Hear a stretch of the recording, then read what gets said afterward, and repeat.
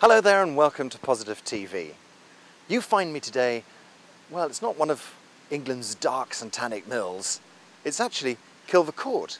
It's an incredible old industrial site, once the home of manufacturing, wool manufacturing, and then Babycham, and now it's the centre of Roger Saul's empire. Roger Saul was the founder of Mulberry, and now he's opened up this extraordinary place, which we're going to have a quick look around tonight, and we're going to be at the opening of their uh, grand sale. We're going to speak to Roger in a moment, but in the meantime, just feast your eyes on this extraordinary place. It's kind of industrial and yet stunning.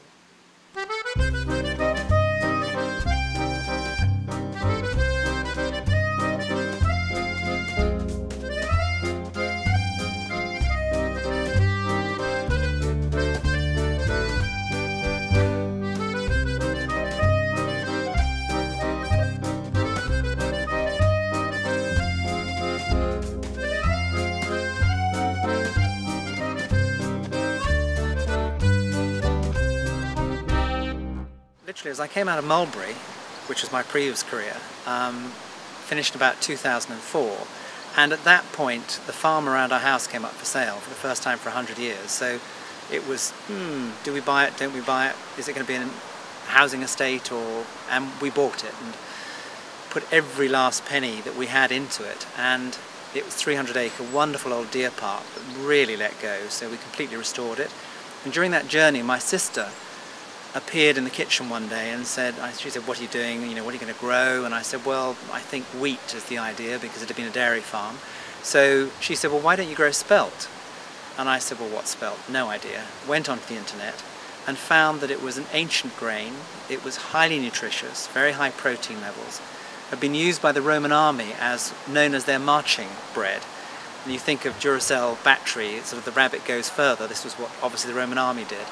And that was really the beginning of that whole process. And we grew our first crop, we learned how to farm organically, we did some conventional beside it, so we got this wonderful apprenticeship in seeing what to do and what not to do. And we had a lovely moment when we grew our first crop of spelt, and we were growing wheat beside it, and we had field by field, and you could see our spelt growing organically with the weeds and the nettles growing up in it, and looking like an absolute mess. And over here, the growth inhibitor, the fertilizer, the weed killer, the pesticide, all being sprayed by a farmer, and this carpet of wheat looking perfect and hedge to hedge, not an insect or a bird in sight. Here's my spelt over here. And that was a lesson, big lesson in learning, well, hang on here, we're spraying all these things and where is this going? And the next step was the farmer said, that my contractor said, shall I sell this grain for you? Roger, you know, we can sell it and it goes for chicken feed. Well, great, yeah, that's fantastic. And then the sort of word round the brain said, chicken feed, who eats chickens? Me. And actually, I had put all those chemicals into effectively my body. And so big lessons like that, learning about organic and what's good for you. Beside that, coming out of that, we kept Kilver Court. This was the headquarters of a Mulberry.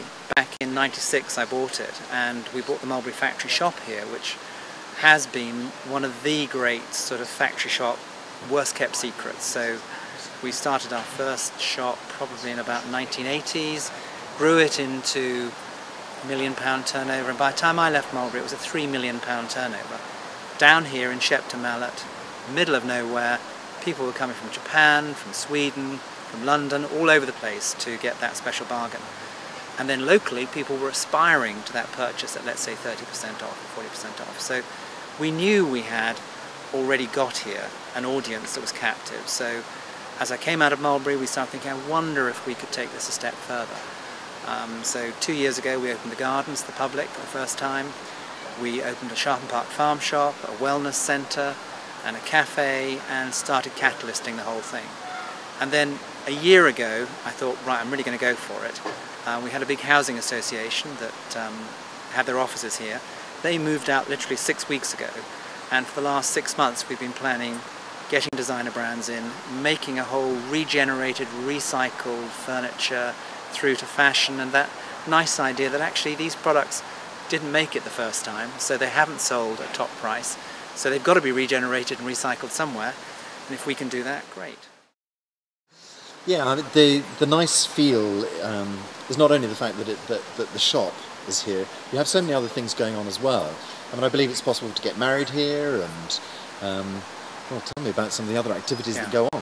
We're certainly a wedding venue, amazing garden. We've got some amazing rooms. We've got a lovely little dovecote that people can get married in. And so we're now probably doing 30, 40 weddings a year already. Um, so that's a big string. Um, with the whole site, we hope to regenerate it and do a very simple warehouse hotel. Um, I'm looking to really gather that thing together. So it's like a Kilver club. So we're talking to one or two watch brands to see if we could do special watch bargain auctions. Because where do all of those Tag Heuers and different watches, you know, great sunglasses, and think, where do they go when they don't find a home? They must go somewhere, so if they can come here.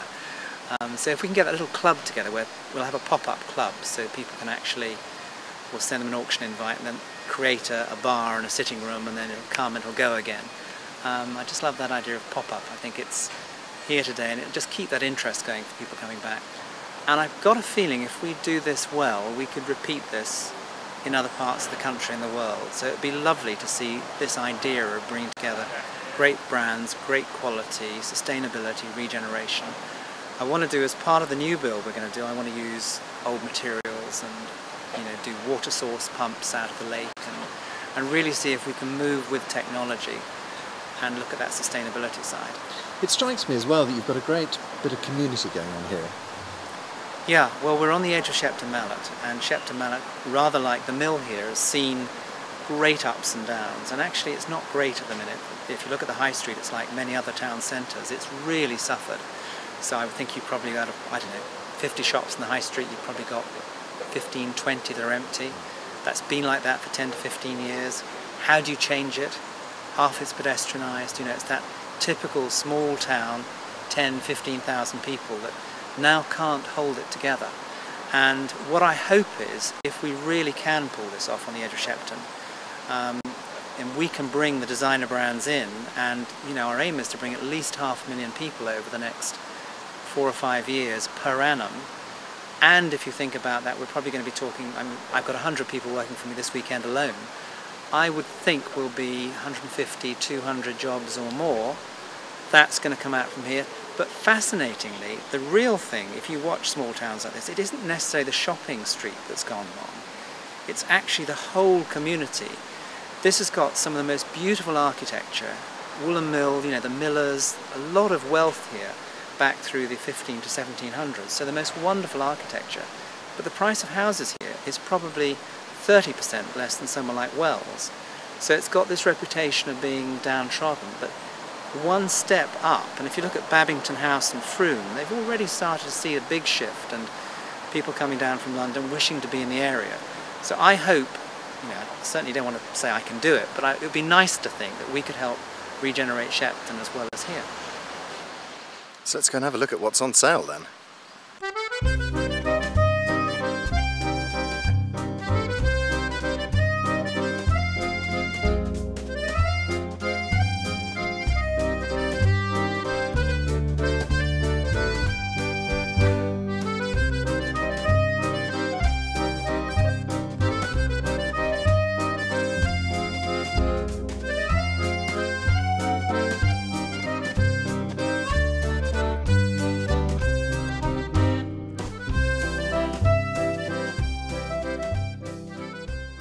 Tonight is the opening of Kilver Court Grand Designer Emporium, and over the next two days we've got a huge grand sale through that door.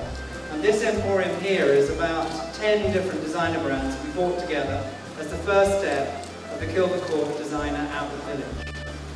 Now it won't just be a village that's about fashion, it's going to be about home, living, restaurants, and the gardens, and the farm shop, and a wellness centre. So it's really, hopefully, a whole community coming together. And we very much hope that this could be the start of a little bit of regeneration for Shepton Mallet. Come spin! What's nice is it's just a general vibe of this is going to be important. That's really great.